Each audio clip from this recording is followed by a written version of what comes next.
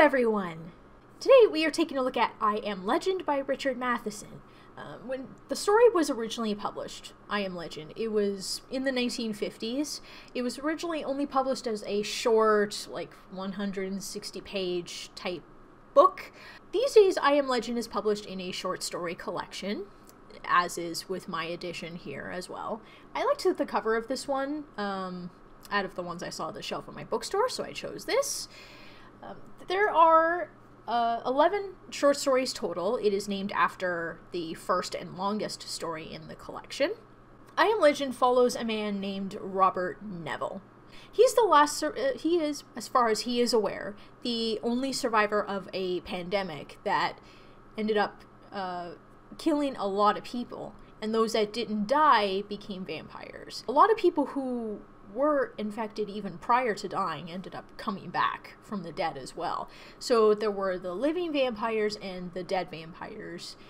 And um, I can't remember offhand if there was a way to differentiate between the two.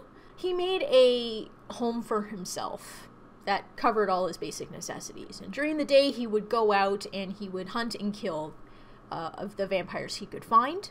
And then during the night, he would stay locked up indoors because then they would all come out and they would all surround his house. And, you know, he would just wait it out. You know, there were, there were those who would uh, try to um, break his door down, try to throw rocks at his windows to shatter them. Uh, there was one guy that used to be his neighbor that would keep, you know, shouting his name and asking him to come outside. So uh, that was uh, mildly amusing, but there is uh, there really it, it is a very serious story. There's nothing apparent supernatural about them, and what the traits that they do have, although a lot of them line up with how vampires are in a lot of fiction, like allergy to garlic doesn't come out in the sunlight, blah blah blah. He decides there ha- there has to be some kind of scientific explanation for all of it, and so he begins to uh, take samples and study and stuff because he himself is immune. Time has proven that he is immune to the virus. So between his own um, immunity and the research he does, it's his goal to try and find a cure for the virus. So I'm not going to go anything else because anything else would basically be a spoiler for the story, whether you've seen the movie or read the book. I will say this though um, the movie is based on the book, but it takes a lot of liberties and is very different. There is a lot that is different between like Neville as a character and what goes on and how the story ends. So if you've watched the movie only and you have never read the book, I will tell you right now, it does not turn out the same way. It does not end the same way. Robert Neville as a character himself is also not the same. So don't think you know everything just by seeing the movie. It's far from it. A lot of people who review I Am Legend from what I've noticed by watching YouTubers as well as uh, reading reviews online on Goodreads, a lot of them only focus on the story I Am Legend itself and don't talk about any of the other short stories in the collection, which I think is a disservice, personally. Because, especially as someone who, if you've been watching the channel for a bit, you know I'm not typically a horror person in general. It's not my thing. But, the like I said, there are 11 short stories total. One is I Am Legend. So the other 10, though not anywhere near as long as I Am Legend, they are all pretty good. They all, uh, they're all written really well. Um, there wasn't a single story in the collection I did not like. So that alone is a plus, because with the variety of stories in here, I thought for sure there'd be one I would at least dislike or even hate, but they're all good they're all good. It's a testament to Richard Matheson as a writer.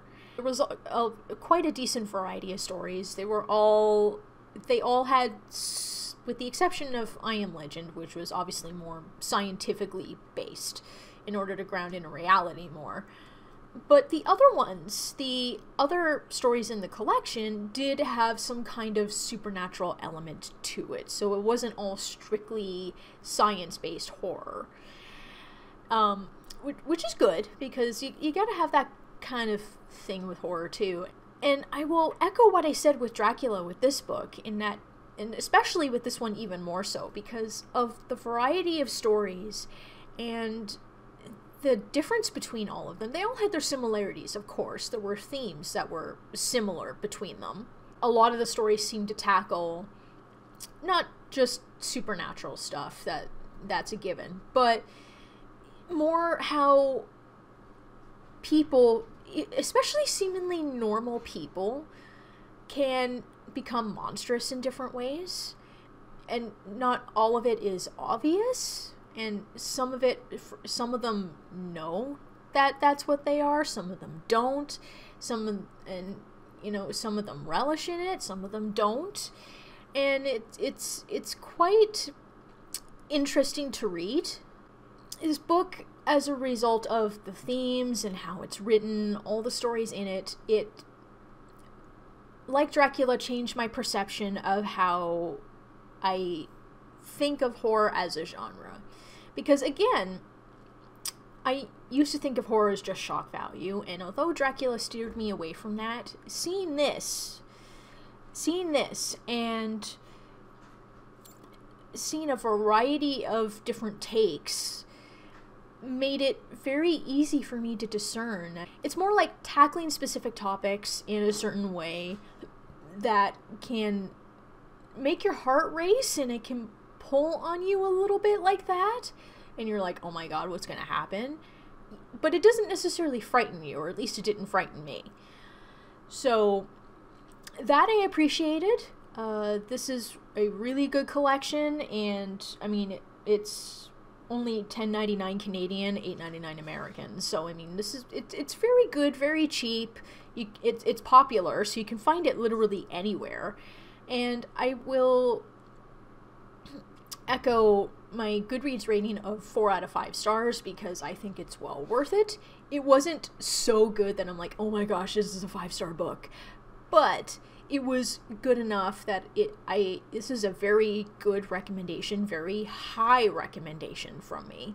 If you're someone who's not really drawn to horror but wants to experience a a variety of horror stories that are not usually built on the shock value, then this this is what you should be looking for. This I feel is an essential read for anybody and uh, I look forward to discussing this book with you guys in the comments. I think I think it's good. I think it's really good.